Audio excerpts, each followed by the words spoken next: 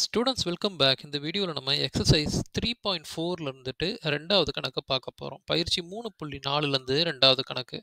இங்கேயே என்ன கேட்குறாங்க இதில் எந்த நம்பரை விடுபடணும்னு கேட்குறாங்க விளக்கப்பட்ட மதிப்புகள். எந்த நம்பரை விளக்கணும்? இந்த சமன்பாட்டுக்கு ஒத்து வராத நம்பர் என்ன? அப்படின்னு கேட்குறாங்க எக்ஸ்க்ளூடட் வேல்யூ ஏற்கனவே சொல்லியிருக்கிறேன்.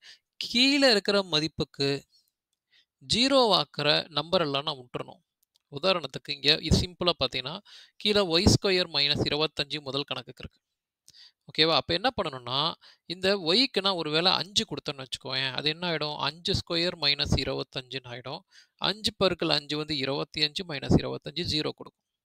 ஒருவேளை மைனஸ் அஞ்சு கொடுத்தினாலும் மைனஸ் அஞ்சு பவர் ரெண்டு மைனஸ் இருபத்தஞ்சுன்னு வரும். இரட்டைப்படை இருக்கிறதுனால உள்ளே இருக்கிற மைனஸ் ப்ளஸ் ஆகிடும் அப்போ ப்ளஸ் இருபத்தஞ்சு ஈவன் நம்பர்னால் அது ப்ளஸ் ஆகிடும் அல்லது மைனஸ் அஞ்சு பெருக்கள் மைனஸ் அஞ்சு போடுறப்ப மைனஸ் மைனஸும் ப்ளஸ் ஆகி உனக்கு இருபத்தஞ்சு தான் கொடுக்கும். மைனஸ் இருபத்தஞ்சு இதுவும் ஜீரோவும் கொடுக்குது. அப்போ கீழே இருக்கிற இந்த ஒய் பவர் ரெண்டு மைனஸ் இருபத்தஞ்சை ரெண்டு நம்பர்கள் மட்டும்தான் ஜீரோ ஆக்க முடியும். அது ப்ளஸ் அஞ்சு இன்னொன்று மைனஸ் அஞ்சு. அந்த ரெண்டு நம்பரை விட்டுறணும்.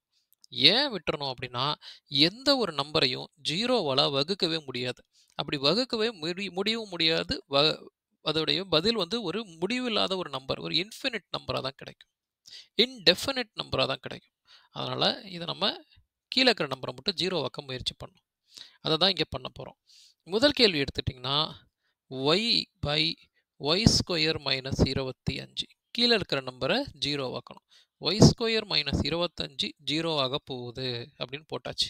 அப்போ அந்த இருபத்தஞ்சு இந்த பக்கம் போச்சுன்னா ஒய் ஸ்கொயர் ஈக்குவல் டு இருபத்தஞ்சுன்னு வரும். இப்போ ஒய்யோடைய மதிப்பு என்ன வரப்போகுதுன்னு பார்க்கணும். ஓகே ஏன்னா ஒய்க்கு தான் இங்கே மதிப்பு கொடுத்தா என்ன ஜீரோ ஆகணும்? இப்போ ரெண்டு பக்கமும் மூலம் எடுத்துருங்க. ஈக்குவல் டு இருபத்தி அஞ்சு இங்கேயும் மூலம் எடுத்து இங்கேயும் மூலம் எடுத்துக்கோ. ரூட்டும் ஸ்கொயரும் அடிபட்டுரும். வர்க்க மூலமும் அடிபட்டுருச்சுன்னா ஒய் இஸ் ஈக்குவல் டு மூலம் இருபத்தஞ்சுன்னு வரும். ஒய் ஈக்குவல் டு இருபத்தஞ்சுக்கு மூலம் எடுத்தீங்கன்னா அது ப்ளஸ் அஞ்சாகவும் இருக்கலாம் மைனஸ் அஞ்சாகவும் இருக்கலாம். அப்போ ப்ளஸ் அல்லது மைனஸ் அஞ்சு தான் விளக்கப்படக்கூடிய நம்பர் ஓகேவா விளக்கப்பட வேண்டிய எண்கள் ப்ளஸ் அல்லது மைனஸ் அஞ்சு. Excluded values are plus are minus five அப்படின்னு வந்துடும் இது முதல் கேள்விக்கு. இதே மாதிரி தான் நம்ம அடுத்த எல்லா கேள்வியுமே பண்ண போகிறோம் ரெண்டாவது பார்த்தீங்கன்னா டி வகுத்தல் டி பவர் ரெண்டு மைனஸ் அஞ்சு டி ப்ளஸ் ஆறு. கீழே இருக்கிற மதிப்பை ஜீரோ ஆக்கணும். கீழே இருக்கிற மதிப்பை ஜீரோ ஆக்கணும். ஸோ டி ஸ்கொயர் மைனஸ் அஞ்சு டி ப்ளஸ் ஆறை ஜீரோ வாக்கு அப்படின்னு அர்த்தம். அப்போ இது ஒரு இருபடி சமன்பாடுகள். காரணிகள் கண்டுபிடிங்க. அதை வச்சு மதிப்புகளை கண்டுபிடிச்சிடலாம். குவாட்ராட்டிக் இக்குவேஷன் இல்லையா? டி ஸ்கொயருக்கு பக்கத்தில் என்ன நம்பர் இருக்குன்னு பாரு. டி பவர் ரெண்டுக்கு பக்கத்தில் நம்பர் இல்லை. இல்லைனா ஒன்றுன்னு அர்த்தம். ஒன்றையும் அந்த கடைசியாக இருக்கிற ஆறையும் பெருக்கினா ஆறு வந்துடும் இதுக்கு காரணிகள் கண்டுபிடிங்க. ஆறை நம்ம மூணு ரெண்டு ஆறுன்னு சொல்லலாம். ஆறு ஒன்று ஆறுன்னு சொல்லலாம். ஸோ எதை வேணாலும் எடுத்துக்கலாம். ஆனால் பெருக்கினா ஆறு வரணும் கூட்டினா அஞ்சு வரணும். உதாரணத்துக்கு மூணு ரெண்டு ஆறுன்னு எடுத்துக்கிட்டோம் வச்சுக்கோங்க மூணு ரெண்டையும் பெருக்கினா ஆறு வந்துடும் மூணு ரெண்டையும் கூட்டினா அஞ்சு தான் வரும். எனக்கு மைனஸ் அஞ்சு வேணும். அப்போ என்ன பண்ணலாம்? ரெண்டு இடத்துலையும் நான் மைனஸ் அறிமுகப்படுத்துகிறேன் மைனஸ் மூணையும் மைனஸ் ரெண்டையும் பெருக்கினா ஆறு வரும். ஏன்னா மைனஸ் மைனஸ் ப்ளஸ் ஆகிடும் மூணு ரெண்டு ஆறுன்னு வந்துருச்சு. மைனஸ் மூணு மைனஸ் ரெண்டு கூட்டினா மைனஸ் அஞ்சு வந்துருச்சு. அப்போ இதுதான் நமக்கு கரெக்டான காரணி. இப்போ இதில் நம்ம எடுத்து என்ன பண்ணலான்னா டி பவர் ரெண்டு மைனஸ் அஞ்சு டீயை நான் மைனஸ் மூணு டி மைனஸ் ரெண்டு டீன்னு பிரிக்கிறேன். இங்கே இருக்கிற மாதிரி பிரித்து எழுதுறேன். ப்ளஸ் ஆறு ஈக்குவல் டு ஜீரோ இது ரெண்டுத்துலேயும் பொதுவாக டீ இருக்கு இல்லையா? டீயை வெளில எடுத்துடலாம். இங்கே டி மைனஸ் மூணு வரும். ஏன்னா ரெண்டு மடங்கு டீயில் ஒரு டீ போயிடுச்சுன்னா டீ இருக்கும். மூணு டீயில் டீ போயிடுச்சுன்னா மைனஸ் மூணு மட்டும் இருக்கும். இங்கேயும் நம்ம டி மைனஸ் மூணு தான் உருவாக்கணும். இந்த இடத்துலையும். அப்போ என்ன இங்கே டி இங்கே மைனஸ் ரெண்டு டி இருக்குது என்ன வெளில போயிருக்கோம்? மைனஸ் ரெண்டு வெளில போயிருக்கும். டி மைனஸ் மூணு பொதுவாக வெளில எடுத்துரு. இப்போ இங்கே என்ன இருக்கும்? டி மட்டும் இருக்கும். இங்கே மைனஸ் ரெண்டு மட்டும் இருக்கும். ஈக்குவல் டு ஜீரோன்னு இருக்கும். இப்போ நம்ம டீயோடைய மதிப்புகள் என்னென்ன வருதுன்னு கண்டுபிடிக்கணும். ரெண்டு விதமான ப்ராக்கெட்டில் மதிப்புகள் இருக்குது முதல்ல இந்த டி மைனஸ் ரெண்டு அங்கிறது மறந்துடு அங்கே இல்லைன்னு கற்பனை பண்ணிக்கும் அப்போ என்ன இருக்கும்? டி மைனஸ் மூணு ஈக்குவல் டு ஜீரோன்னு வந்துடுமா இந்த மைனஸ் மூணு இந்த பக்கம் போச்சுன்னா டி ஈக்குவல் டு மூணுன்னு வந்துடும் இப்போ இவனை மறந்துடு இந்த நம்பர் மட்டும் இங்கே இருக்குன்னு கற்பனை பண்ணிக்கோ. டி மைனஸ் ரெண்டு equal to zero T equal to ரெண்டுன்னு வரும். அப்போ விளக்கப்பட வேண்டிய நம்பர்கள் வந்துட்டு மூணு ரெண்டு மட்டும்தான். விளக்கப்பட வேண்டிய எண் அதுக்கு தான் ஜீரோவுக்காக வந்து வந்திருக்கு இல்லையா? ஸோ விளக்கப்பட வேண்டிய எண்கள் விளக்கப்பட வேண்டிய எண்கள் மூணு ரெண்டு. எக்ஸ்க்ளூடட் வேல்யூஸ் ஆர் டீக்கு என்ன கொடுக்கணும்? மூணையும் ரெண்டையும் கொடுக்கணும். இது டீக்கு கொடுக்கணும். இவ்வளோ தான் நம்மளுடைய கணக்கு. இது ரெண்டாவது மாடலுக்கு. இப்போ அதே மாதிரி மூணாவது கணக்கும் போடலாம். மூணும் அதே மாடல் கணக்கு தான். மூணு போட்டிங்கன்னா கீழே என்ன இருக்குது பாரு? இங்கே X square plus X minus ரெண்டு இருக்குது இதுக்கு நம்ம காரணிகள் கண்டுபிடிக்கணும். ஸோ ஈக்குவல் டு ஜீரோ போட்டுக்கோ. அப்போ இதுக்கு காரணிகள் கண்டுபிடிக்கணும். எக்ஸ் ஸ்கொயர் பக்கத்தில் நம்பர் இல்லை. ஒன்றுன்னு எடுத்துக்கணும். இங்கே மைனஸ் ரெண்டு. ஒன்றையும் மைனஸ் ரெண்டையும் இருக்குன்னா உங்களுக்கு மைனஸ் ரெண்டு கிடைக்கும். மைனஸ் ரெண்டுக்கான காரணிகள் கண்டுபிடிங்க. ரெண்டு ஒன்று ரெண்டு கண்டிப்பாக வரும். எனக்கு மைனஸ் ரெண்டு வரணும். ஸோ இங்கே மைனஸ் போட்டுக்கலாம். ரெண்டு மைனஸ் ஒன்று மைனஸ் ரெண்டை கொடுக்கும். ரெண்டையும் ஒன் மைனஸ் ஒன்று வந்து ப்ளஸ் ஒன்று வந்துருச்சு எக்ஸுக்கு பக்கத்தில் நம்பர் இல்லைன்னா அங்கே ஒன்று தான் இருக்குன்னு அர்த்தம். ஸோ இதுதான் நம்மளுடைய காரணிகள். அப்போ எக்ஸ் ஸ்கொயர் எக்ஸை நான் வந்து ரெண்டு ஒன்று பிரித்து எழுதலாம். ப்ளஸ் ரெண்டு எக்ஸு மைனஸ் ஒன்று எக்ஸு மைனஸ் ரெண்டு ஈக்குவல் டு ஜீரோ இது ரெண்டுத்துலையும் எக்ஸை பொதுவாக வெளியிடுங்க. எக்ஸ் ப்ளஸ் ரெண்டு வரும். இங்கேயும் எக்ஸ் ப்ளஸ் ரெண்டு தான் வரணும். அப்போ என்ன வெளில போயிருக்கும்? மைன் எக்ஸ்லேருந்து மைனஸ் ஒன்று வெளில போயிருக்கும். ஈக்குவல் டு ஜீரோ அப்போ எக்ஸ் மைனஸ் ஒன்று எக்ஸ் மைனஸ் ரெண்டு பொதுவாக வெளில எடுத்துட்டீங்கன்னா இங்கே ஒரு எக்ஸ் இருக்கும் அங்கே ஒரு மைனஸ் இருக்கும். இதுதான் நம்மளுடைய மதிப்புகள். இப்போ முதல்ல நம்ம எக்ஸோட மதிப்பை கண்டுபிடிக்கலாம். முதல்ல இவனை மறந்துடு அப்போ என்ன இருக்கும்? எக்ஸ் மைனஸ் ரெண்டு ஈக்குவல் டு ஜீரோன்னு இருக்கும். ரெண்டு அந்த பக்கம் போச்சுன்னா எக்ஸ் ஈக்குவல் டு ரெண்டு வரும்.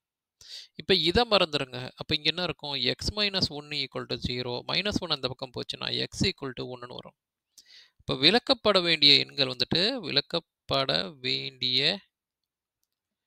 எண்கள் ஓகேவா எக்ஸ் ஈக்குவல் டு ரெண்டு கமா ஒன்று ஸோ எக்ஸ்க்ளூடட் வேல்யூஸ் ஆர் ஏன்னா அந்த மதிப்புக்கு தான் அது மொத்த சமன்பாடும் பதில் இல்லாமல் போக போகுது. Excluded values are two X equal to two comma one அப்படின்னு வந்துடும் இது கேள்வி நம்பர் மூணு. ஃபைனலாக நாலாவது கேள்வியை பார்க்கலாம். நாலாவது கேள்வியில் என்ன இருக்குன்னு பார்த்தீங்கன்னா எக்ஸ் பவர் மூணு மைனஸ் இருபத்தி ஏழு இருக்குது வகுத்தல் எக்ஸ் பவர் மூணு ப்ளஸ் எக்ஸ் பவர் ரெண்டு மைனஸ் ஆறு எக்ஸ் இருக்குது இப்போ நம்ம கடைசியாக இருக்க இந்த கேள்வியை பார்க்கலாம். வழக்கம் போல் கீழே இருக்கிற மதிப்பை எடுத்து நம்ம ஜீரோ ஆக்குங்க. இப்போ எக்ஸ் பவர் மூணு ப்ளஸ் எக்ஸ் பவர் ரெண்டு மைனஸ் ஆறு எக்ஸை நம்ம ஜீரோ ஆக்கணும். எல்லாத்துலேயுமே எக்ஸ் இருக்குது கம்மி கம்மியாக ஒரு எக்ஸ் இங்கே இருக்குது இங்கே ரெண்டு மடங்கு எக்ஸ் இருக்குது இங்கே மூணு மடங்கு எக்ஸ் இருக்குது ஸோ ஒரு எக்ஸ் தான் இருக்கு இல்லையா? அதான் வெளியில் எடுத்துரு பொதுவாக ஒரு எக்ஸ் வெளியில் எடுத்துடலாம் மூணு மடங்கில் ஒரு எக்ஸ் போச்சுன்னா ரெண்டு மடங்கு எக்ஸ் இருக்கும். ப்ளஸ் ரெண்டு மடங்கு எக்ஸில் ஒரு எக்ஸ் போயிடுச்சுன்னா ஒரு மடங்கு எக்ஸ் இருக்கும். மைனஸ் ஒரு எக்ஸ் வெளில போயிட்டா அங்கே ஆறு மட்டும் இருக்கும். ஈக்குவல் டு ஜீரோ இப்போ இந்த எக்ஸை அப்படியே வச்சுக்கோ. கடைசியாக பயன்படுத்திக்கலாம். இப்போ உள்ளே இருக்கிற இந்த மதிப்புகளுக்கு நம்ம காரணிகள் கண்டுபிடிங்க. ஃபேக்டர் கண்டுபிடிப்போம். X square plus X minus ஆறுன்னு இருக்கு. ஓகேவா அப்போ இதுக்கு காரணிகள் என்ன பண்ணலாம்? எக்ஸ் ஸ்கொயர் பக்கத்தில் என்ன நம்பர் இருக்குது நம்பர் ஒன்று இருக்குது கற்பனை பண்ணிக்கோ ஒன்று இருக்குன்ட்டு. கடைசி நம்பர் மைனஸ் ஆறு மைனஸ் ஆறுக்கு நீங்கள் காரணிகள் கண்டுபிடிங்க. உதாரணத்துக்கு மூணு ரெண்டையும் மைனஸ் ஆறு வரும். ஓகேவா மூணு ரெண்டு மைனஸ் ஆறு வரும். எனக்கு மூணு ரெண்டு ஆறு வரும். எனக்கு மைனஸ் ஆறு வேணும். ஸோ இங்கே மைனஸ் போட்டுக்கோ. மூணு மைனஸ் ரெண்டு மைனஸ் ஆறு வரும். மூணில் ரெண்டு போச்சுன்னா ப்ளஸ் ஒன்று வரும். இங்கே எக்ஸுக்கு பதில் நம்பர் எல்லாம் அங்கே ஒன்று இருக்குன்னு அர்த்தம். ஸோ இப்போ நமக்கு காரணிகள் கிடச்சிருச்சு. ஃபேக்டர் கிடைச்சதுனால எக்ஸ் ஸ்கொயர் அப்புறம் இந்த ப்ளஸ் மூணு எக்ஸு மைனஸ் ரெண்டு எக்ஸு மைனஸ் ஆறு ஈக்குவல் டு ஜீரோன்னு போடணும். இது ரெண்டுத்துலேயும் பொதுவாக எக்ஸை வெளில எடுத்துரு. அப்போ எக்ஸ் ப்ளஸ் மூணு வரும். இங்கேயும் எக்ஸ் ப்ளஸ் மூணு தான் வரணும். அப்போ என்ன வெளில போயிருக்கும்? இங்கே எக்ஸ் இருக்குது இங்கே மைனஸ் ரெண்டு எக்ஸ் இருக்குது மைனஸ் ரெண்டு எக்ஸ் வெளில போயிடும். மைனஸ் ரெண்டு வெளில போயிருக்கும். ஈக்குவல் டு ஜீரோ ரெண்டுத்துலேயுமே எக்ஸ் ப்ளஸ் மூணு இருக்கு இல்லையா? எக்ஸ் ப்ளஸ் மூணை வெளில எடுத்துரு.